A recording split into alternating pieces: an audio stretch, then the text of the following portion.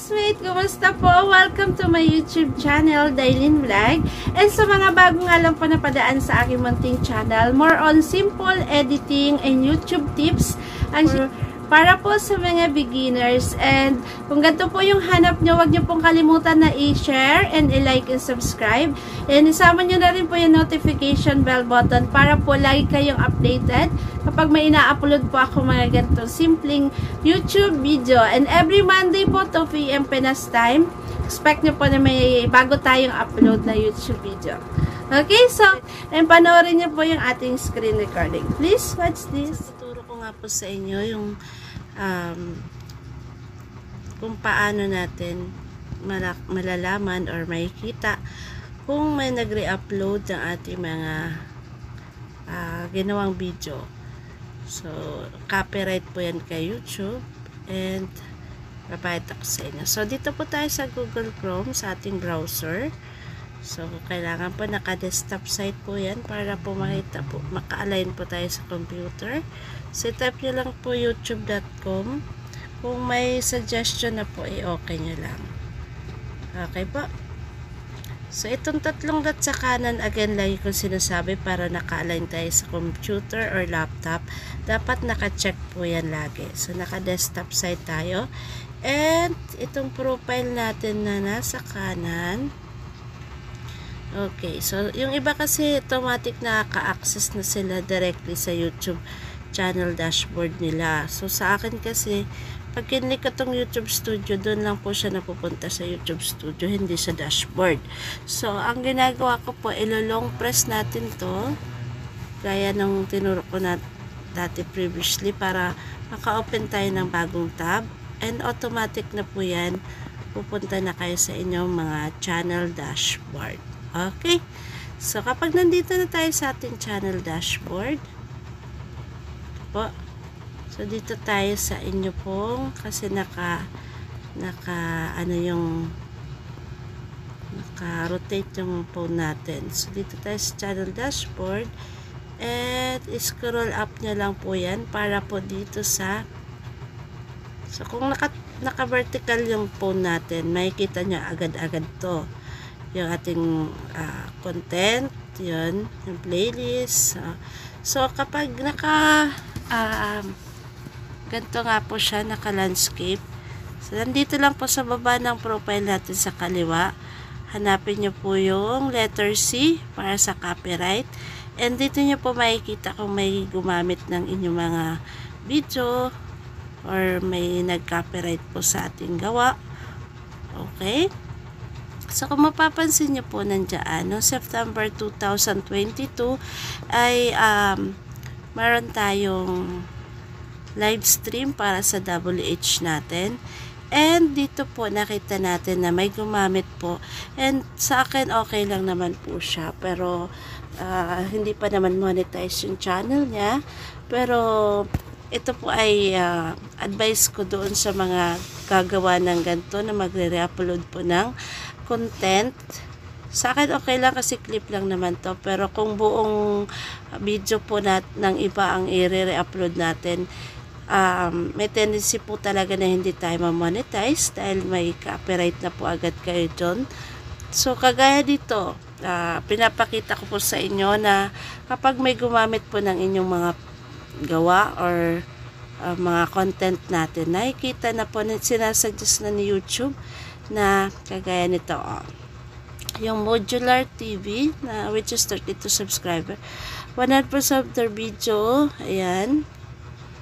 Okay so yan.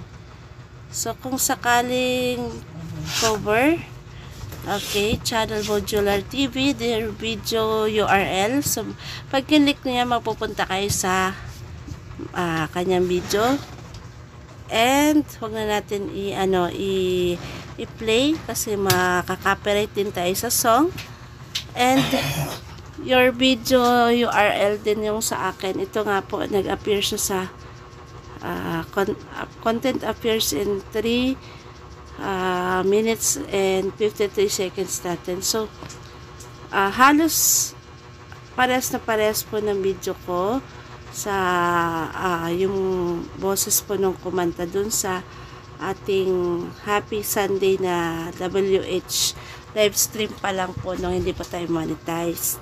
So, kapag ganyan po na uh, may gumamit nga po or may nag, nanghiram ng ng galing sa chat natin, makikita nyo po dyan.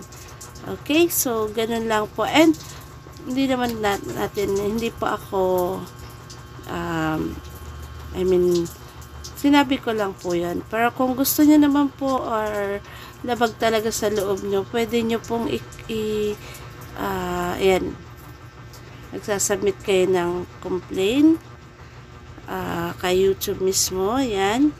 So, yung email po niyan and yung copyright. So, according to dyan, hi, modular channel notice their content in a video that you uploaded.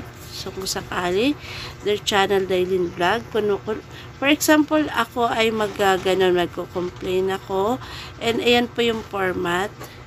So, subject copyright notification, notification regarding kung sakaling kali cover, tsaka yung email address ko, ilalagay ko dyan. And isa-send ko yan. And the, um, yan, the channels provided email address in case you'd like to start conversation. Okay, kung kailangan makipag-negotiate. For example lang, but since uh, from YouTube yan, but since yung modular TV ay hindi pa naman po monetize, hindi ko naman siya ganon, hindi naman tayo ganon. So, ito po ay awareness po dun sa mga gusto rin po mag-re-upload ng full video po talaga ng isang content creator. Ako po, uh, meron tayong mga shorts video and binumute ko naman po and ginagawa ko po, ina-apply ko yung aking sariling uh, music from the YouTube library. And uh, yun po ay allowed na mag-reuse tayo ng ganon uh, ng mga uh, seconds lang naman po yun. So, hindi po yung buo talagang uh, content and uh, clip hindi niya minute na galing din doon sa ating live stream so uh, ayan po so kung gusto niya pong makita pa yung mga copyright claim ng gumawa sa ating video pwede niyo po i-click to and so far aside from doon sa modular TV wala naman pong iba pa na nag-copyright sa ating uh, mga video po. Okay? So, sa shorts, wala din. Yan. Ah, sa shorts natin, oh. Okay, wala naman po. Okay, so, ayun lang po and I hope na makatulong din po dun sa mga uh, gusto rin po na hindi makuha yung kanilang mga pinaghirapan po na um, tutorial, for example po. And ganun din po doon nyo rin po makikita. Again, doon sa letter C, yung copyright natin, channel copyright. Okay? So, stay updated mga classmates and see you on my next YouTube video. Happy New Year! And God bless po sa ating ngayon 2024. Okay, so tapos na po yung ating munting YouTube tutorial for today and I hope masundan din po ng mga bago lang po sa pag-upload. And again, thank you so much po sa mga old and new subscribers na ating munting channel. And sa mga nagko-comment po dyan, Uh, maraming maraming salamat po. God bless po sa lahat and mag-iingat po tayo and stay updated po. See you on my next YouTube video. Bye-bye! down the street with your red